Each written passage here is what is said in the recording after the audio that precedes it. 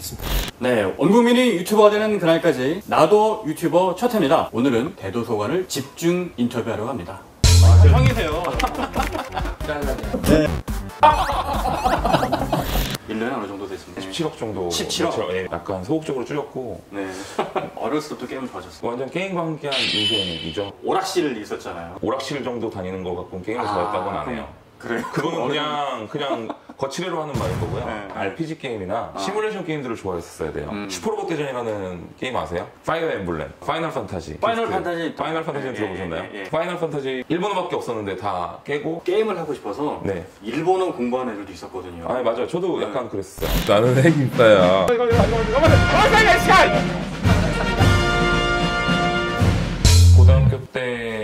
아버님이 돌아가셨어요. 뭐 공부해봐야 무슨 소용이 있겠나. 음. 뭐 일이나 해서 돈을 벌자라는 마인드였고 당시에 뭐 하고 싶은 것도 없었고 비디오를 많이 빌려봤죠. 군대 갔다 와서 2002년도쯤에 아르바이트로 이렇게 일을 했는데 딱 느꼈죠. 음. 아 내가 하고 싶은 게 이거였구나. 기획자가 하고 싶은 거였구나. 아무것도 모르고 1인 미디어를 하는 것과 네. 시스템의 가치를 이해하고 1인 미디어를 하는 거는 차원이 음. 달라요. 음. 내가 잘나서 잘 된 건 줄 아는 사람들이 너무 많다는 거죠. 음. 제가 잘하는 건 남들보다 게임을 조금 더 맛깔나게 하는 정도. 음. 그거거든요. 진짜 하등 쓸모없는 능력이죠. 음. 옛날 같았으면 옛날 같았으면. 예, 옛날 같으면 전 하등 쓸모가 없는 능력. 근데 이제 시대가 바뀌고 인프라가 바뀌고 플랫폼이 바뀌니까 그런 능력들조차도 중요한 쓸모 있는. 능력이 되는 거죠. 우리 시청자분들 중에서도 음. 저뭐 대학 안 가고 싶어요라고 하는 사람들이 있는데 저는 대학을 꼭 갔으면 좋겠다고 말을 해요. 음. 커뮤니티를 쌓을 수 있는 마지막 구간이라고 저는 생각하거든요. 저는 네. 그걸 못 쌓아서 너무 아쉬웠어요. 그리고 또 거기서 배우는 것들도 그렇게 쓸모없다고 생각하진 않습니다.